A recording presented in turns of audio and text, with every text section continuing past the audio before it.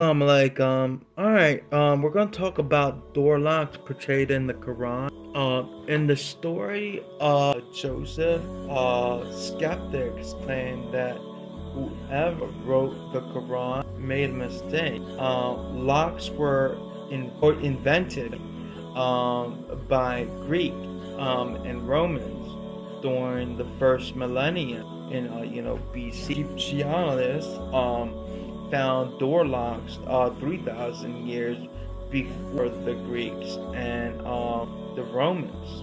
History of uh, mechanical locks started over 6,000 years ago um, in ancient Egypt, where you know locksmiths were uh, you know first uh, uh you know managed to create the simple uh, effective pin uh, uh, tumbler you know, uh, you know, lock. It, it was uh, made entirely from, you know, wood. It was consisted consisted of, of the wooden post that um, was um, affixed to uh, the door, and you know, horizontal bolts that slid into the post. Uh, this bolt had set of, you know, an uh, an opening with where it filled with you know pins, um, especially designed like you know like large um, and heavy duty wooden key uh, was you know shaped like you know our modern toothbrush um, with um, you know pegs that you know corresponded to uh, the hole and the pins uh, in the lock uh, this key um, could be inserted um, into the opening, lifted when it would, you know, move uh, the pin and um, allow, you know, security bolt to be, uh, you know, moved.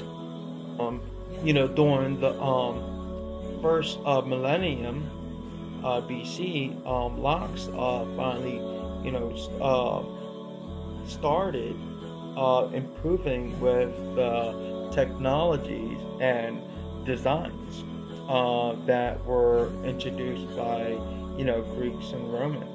You know, supposedly. Doors, uh, you know, lock were invented, you know, by Egyptians six thousand years ago, and um, this was uh, only known recently. However, this was portrayed in the Quran over 1400 years ago before it was discovered. So what I want you to do is turn to um, Quran 12, you know, 23. Um, it says, um, uh, she's in whose house he was living, tried to seduce him. She shut the doors and said, I am yours. He said, Allah forbid, he is uh, my Lord, um, He was given me a good home. Sinners never succeed. So, alright, she shut the doors so nobody could get in. Okay, you guys getting me? She shut the door so nobody could get in.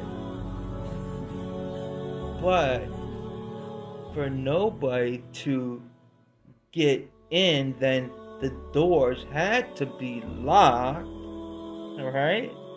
Common sense. Today we know uh, that doors locked uh, were invented by, you know, uh, Egyptians long before, you know, Joseph.